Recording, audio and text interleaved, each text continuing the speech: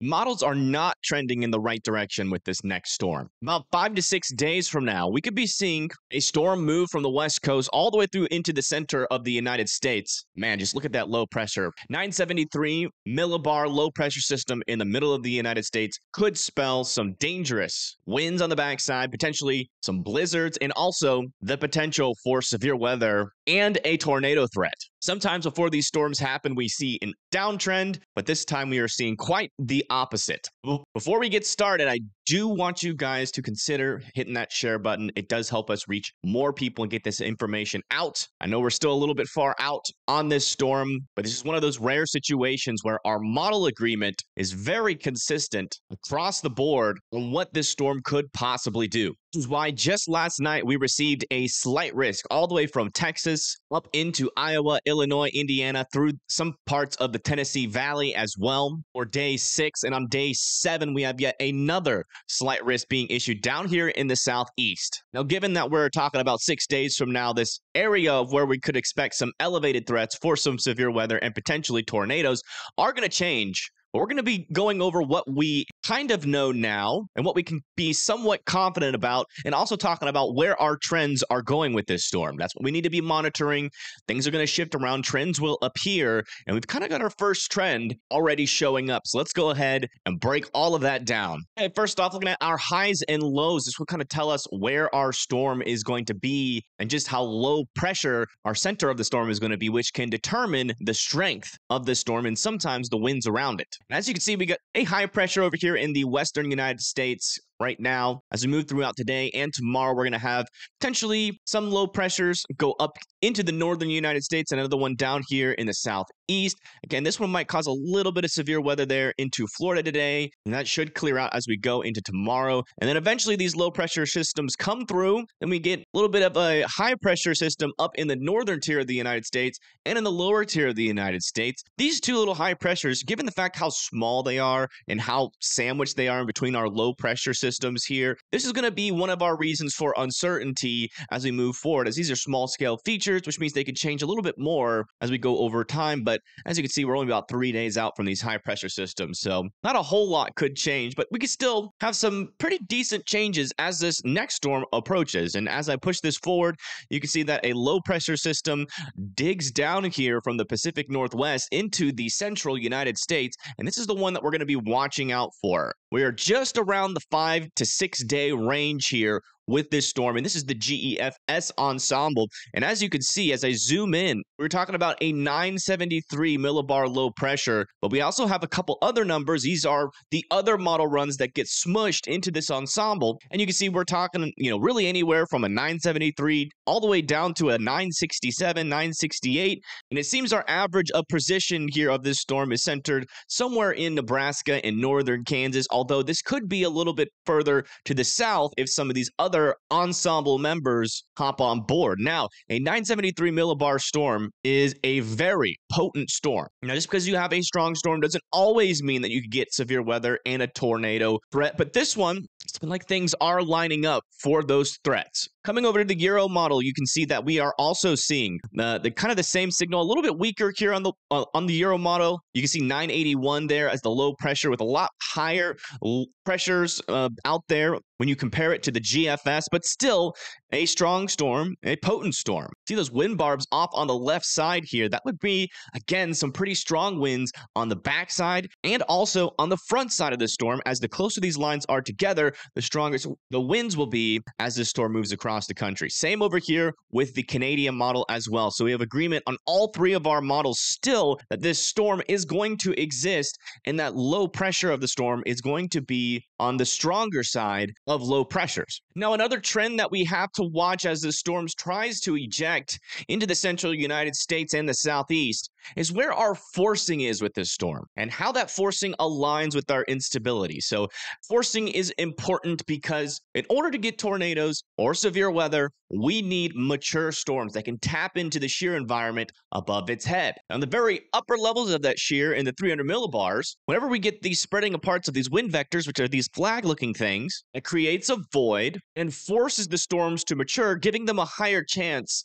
of being a mature storm. And as you can see, we are seeing wind vectors going up to the north and east here. But the further we go down, we see them going more to the east to the south, meaning this entire area, really from Texas going into Oklahoma, Arkansas, Missouri, even up into parts of Iowa and Illinois, Tennessee, Kentucky, Mississippi, are all in that area where we could have widespread mature storms. But in order to get those mature storms to sustain themselves, so there are other factors that we're going to be talking about here in just a little bit. Now, coming over to our Euro model, one of the differences we are seeing is where that forcing is occurring in our storm. So the GFS Ensemble has it a little bit further up to the north. The Euro model has it a little bit further to the south. You can see our forcing is more over the southeast going into Missouri, and the further north you go, the less the forcing gets. There still could be some decent forcing up there, enough to cause some organized storms if we have other factors in play. But bottom line is, we have a wide area here where mature storms will be possible if we have the right ingredients with it. The Canadian model is also showing a similar picture here to the GEFS, where we have a large area all the way from Ohio Valley down to the southeast. So we have three models here indicating not only are we going to have a stronger low pressure system, but the forcing is going to be there to cause mature storms. But that's not everything that you need to get severe weather and tornadoes. Going down a little bit lower in the atmosphere, now you are in the 500 millibar range. This is kind of the upper portion of the atmosphere where we look for the beginning of that spin. The main thing we look out for is just how strong these winds are on top of the area of where we're seeing some forcing, which is really from, you know, in this area. So you can see those winds aloft are going to be strongest as this ejects into areas like Arkansas, into Missouri, and into the western Ohio Valley, and then that spreads off to the east throughout the day. Meaning we could have pretty strong winds aloft here all the way throughout this event, with much of our forcing being up here. Coming over to the Euro model, you can see the trough is a little bit weaker here. Still some pretty strong winds near the southern side of the storm, at least where the Euro is indicating where our forcing will be. Pretty often when we have some forcing, especially with a trough that could be potentially negatively tilted, that upper level shear typically overlaps with it. Same over here with the Canadian. So we have all three models saying that we have a pretty strong upper level jet that could be possible. Now, keep in mind, this is just the averages, so some of the model runs will be a little bit higher or a little bit lower than this. But overall, it does seem like this synoptic environment where that upper level shear is there. So we know we'd have a strong low pressure system. We know that we have a decent upper air pattern to support a lot of mature storms. We know we have stronger winds in the upper levels. Now, in order to complete the picture of whether or not we'll have spin in the atmosphere, is by looking at our lower level winds. This is going to be in the 850 millibars. 60 knots is quite potent of a lower level jet. And keep in mind, these are averages, so there's definitely a potential that we could have stronger winds than this. Orientation to the south to the line is a little bit parallel, which is certainly an indication that our forcing is further up to the north. And you can see our more perpendicular line. So our upper level winds in the 500 millibars are going this way, but all the way down here in the 850 millibar range, they're going from south to north. That is a perpendicular look to it within that forcing and also some stronger lower level jet there. So that definitely indicates that we are going to see a decent amount of spin with this storm, at least according to the GEFS. Let's go look at the Euro. Euro is saying the same thing, more perpendicular flow though all the way throughout the storm, although our forcing is also a little bit further to the south as well. Pretty strong lower level jet completing that spin picture, and same over here with the Euro, a little bit weaker with that lower level jet, but still a plenty enough to support severe weather threat and potentially a tornado threat. So everything seems to be in place here. But again, a lot of these little features could change, and we've looked at about four or five things right now. Any of those four or five things changes in a way that this storm doesn't like, we could definitely see a little bit of a minimalization of this threat. And keep in mind, there is six days for that to happen. So we still have a big window here on where our opinions about this storm will shift over time. But the fact that we have all of the models agreeing right now on a potent storm here. Definitely worth paying attention